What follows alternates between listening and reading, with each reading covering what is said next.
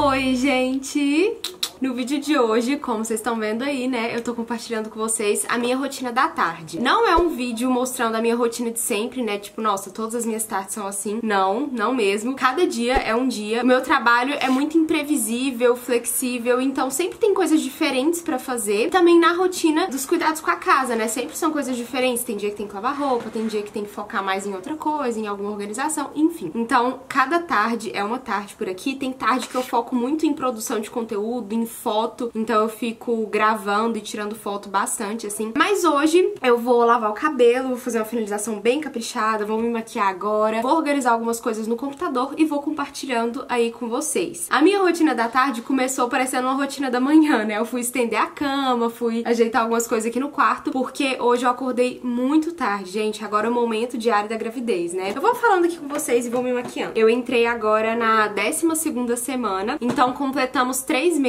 né? E todo mundo fala, o meu médico falou também que o enjoo pode ir até umas 15 semanas. O enjoo, a indisposição, o sono, né? Então eu sigo do mesmo jeito aqui, sabe? A gente completou os três meses, mas nada mudou. Eu sigo enjoando e também, nossa, gente, hoje, sério, como eu falei aí, eu acordei bem mais tarde, era quase 10 horas da manhã, porque de verdade o meu corpo estava colado na cama, o celular despertava assim e eu simplesmente não tinha forças para levantar. Era um sono que, de verdade, eu nunca senti isso antes mesmo. É realmente algo algo muito, muito diferente, assim, de tudo que eu já senti. Eu sempre fui uma pessoa muito da manhã, sempre gostei de. Não é à toa que tem vários vídeos de rotina da manhã aqui no canal. Sempre gostei de acordar cedo, de começar já produtiva na manhã. E ultimamente não tá rolando, assim. Então eu tô me adaptando mesmo, né? Como eu falei com vocês aí no último vlog, eu tô bem tranquila em relação a isso. Eu vou adaptando a minha rotina. Por exemplo, daqui a pouco eu vou fazer a minha meditação com o livro que eu tô lendo. E geralmente eu gosto de fazer isso pela manhã, mas eu não consegui fazer. Então eu vou me desesperar, vou ficar mal por isso. Não, vou simplesmente fazer agora à tarde mesmo, né? Então é o que eu tento fazer. Não consegui fazer no determinado horário que tinha que ser, ou mais cedo possível, eu vou e faço depois na hora que dá pra fazer, né?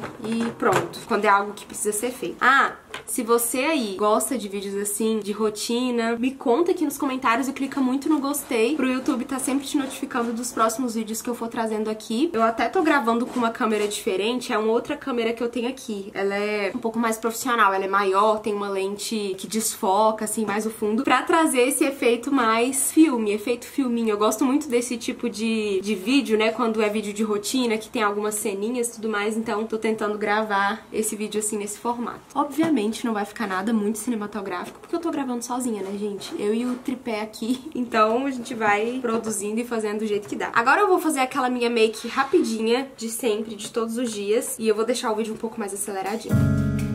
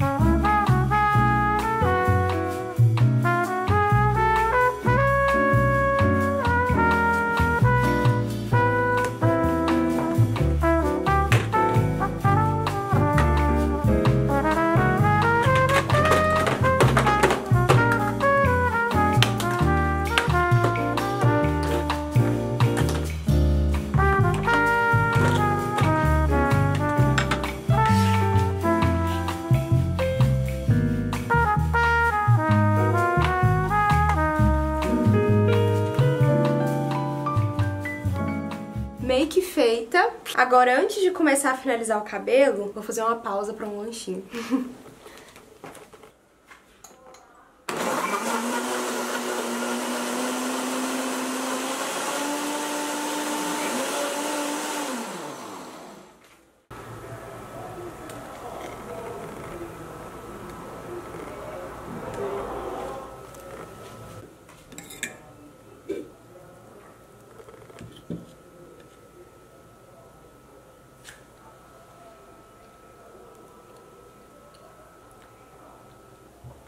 Voltei, fiz o meu lanche. Eu fiz uma vitamina que eu tô amando fazer ultimamente, que é com leite de amêndoas, uma banana e um pouco de aveia. É uma vitamina que fica super nutritiva e é mais saudável, assim, né? Quem me indicou o leite de amêndoas foi a minha nutricionista, Luciana Vidal. Ela é uma nutricionista materna infantil e tá me ajudando bastante nessa fase a escolher alimentos que são mais nutritivos, que vão ajudar na minha saúde, na saúde do bebê. Então, depois eu posso ir compartilhando, assim, no decorrer dos vlogs. Claro que eu não tô conseguindo seguir, né, muito das das dicas, das recomendações, do plano alimentar que ela me passou por causa dos enjoos, né? Então tudo é muito imprevisível, não é tudo que eu consigo comer e tudo mais. Mas talvez, quem sabe, mais pra frente, se melhorar, né? Eu consigo seguir mais a risca essa alimentação mais saudável. Mas vamos lá. Ah, aí tinha também um queijo ali, maravilhoso. Aí eu comi umas duas fatias dele. Depois eu ia comer aquele bolo, que é um bolo um bolo fit também, ele é sem açúcar, feito, enfim, só com coisas mais saudáveis mesmo. Bolo de chocolate delicioso. Mas aí acabou que eu nem comi. Eu dei uma colherada assim e vou deixar pra comer mais tarde, porque a vitamina é bem nutritiva, sabe? Então agora que eu já estou de estômago cheio, eu vou finalizar o meu cabelo. Vou fazer uma finalização de sempre, não é muita novidade, eu acho. E aí eu vou usar água, porque o meu cabelo já secou bastante, eu fiquei muito tempo com a toalha na cabeça. Vou usar um pouquinho desse óleo aqui, bem pouquinho mesmo, só antes do creme pra ajudar na nutrição, no brilho. É da Alpha Parf. Eu tô amando esse óleo, muito cheiroso, muito bom. Tá dando muito certo certo no meu cabelo. E o creme Curly On Cream da Soul Power, que eu amo de paixão. E ele me dá muita definição e muitos day afters. Os meus day afters são muito bem sucedidos com esse produto. Então vai ser isso que eu vou usar e fazer uma finalização mecha por mecha, estruturada, aquela fitagem de sempre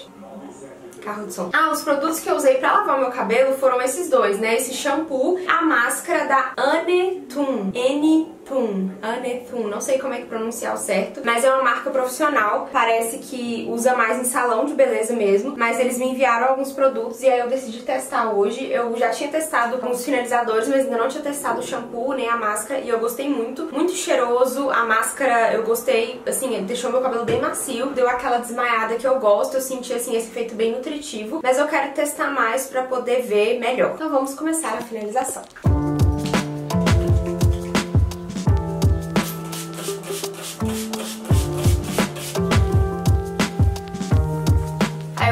Usando a escova para desembaraçar, dividindo mechas menores e fazendo a fitagem com os dedos.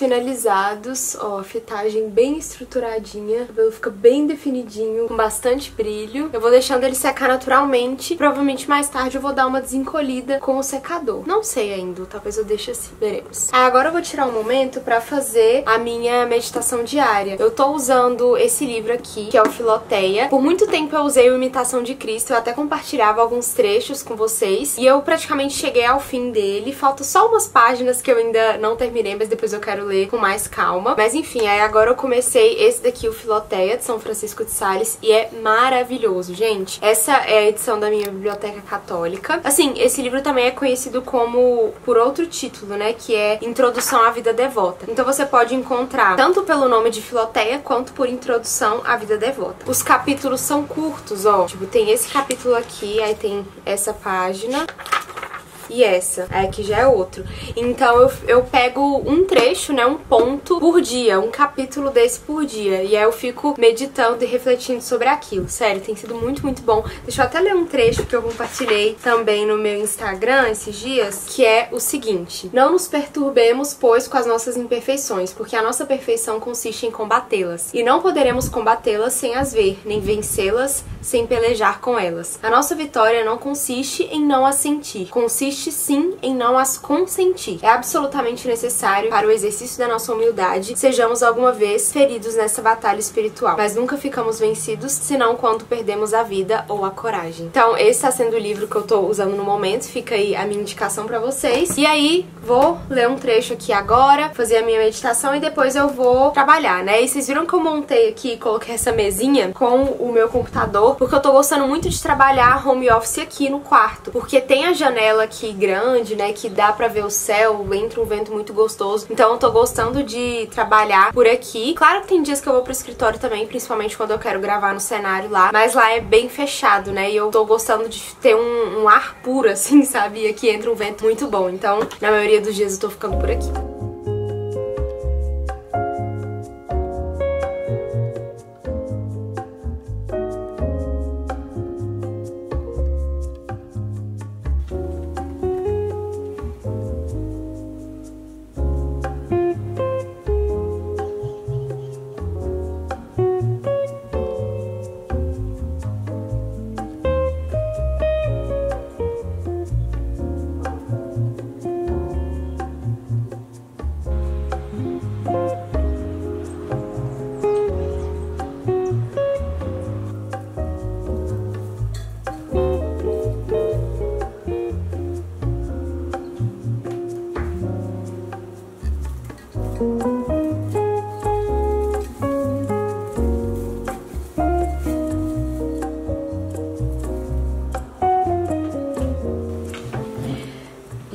Acabei de colocar esse, essas flores desidratadas, flores secas, aqui nesse jarro. Tá usando bastante, né, esse tipo de arranjo com plantas desidratadas. E eu confesso que não é o estilo de planta que eu mais gosto, o estilo de flor, assim, que eu mais gosto. Eu prefiro as flores naturais, coloridas e tudo mais. Mas até que eu gostei. Olhando assim, tipo, achei que ficou interessante. Achei legal, ficou bem outonal, com esses tons mais quentes que eu gosto. Então, acho que eu vou deixar assim, até que eu curti, viu?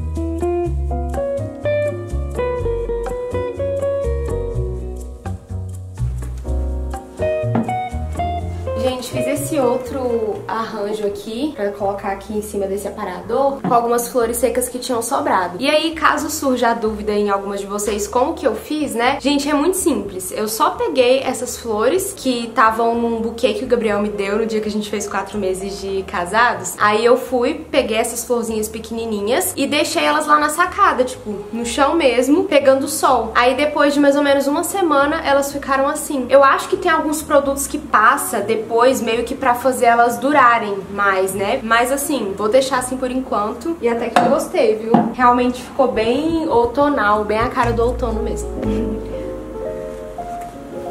Agora eu vou secar o meu cabelo e desencolher. Eu vou usar esse secador aqui, que é da linha Essenza, da Multilaser. Acho que eu já mostrei pra vocês em outros vídeos, ou foi lá no Instagram, não sei, enfim. Ele é pequenininho assim, ó, e ele dobra, é bivolt, então é super prático pra você levar na bolsa, se você precisar levar em viagem, em alguma necessaire. E eu tô gostando bastante. Por ser pequeno, ele é até potente, viu? Achei a potência dele boa. Claro que não é igual aos secadores grandes, mas dá pra usar, assim, tranquilamente. Eu uso bastante assim no meu dia a dia. E aí é isso, eu vou dar uma secadinha aqui no meu cabelo. Ele já secou bastante, mas eu vou desencolhendo aqui também, do jeito que eu gosto. E bora lá. Ai,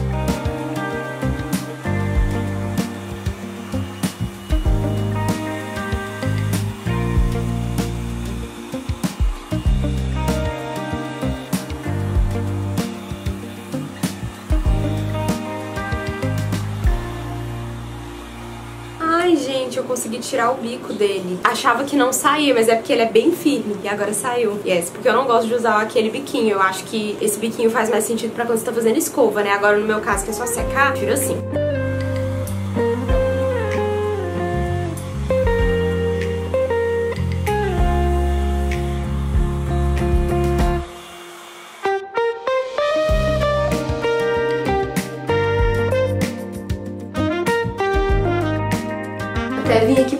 Escritório, liguei a ring light pra vocês verem essa definição e esse brilho. Eu fui secando com um secador, mas nessa parte daqui, ó, que é onde encolhe mais, e aqui eu nem mexi muito pra manter a definição, porque no decorrer dos day afters o cabelo vai pegando mais volume, então eu não quis mexer muito pra manter mais essa definição, pelo menos nas pontas, sabe? E esse vídeo vai ficando por aqui. Me contem aqui nos comentários o que vocês mais gostaram de ver nessa rotina da tarde, o que vocês mais identificaram. E me contem também se vocês querem mais vídeos nesse estilo de rotina. Enfim, um beijo, fiquem com Deus e até a próxima. Tchau!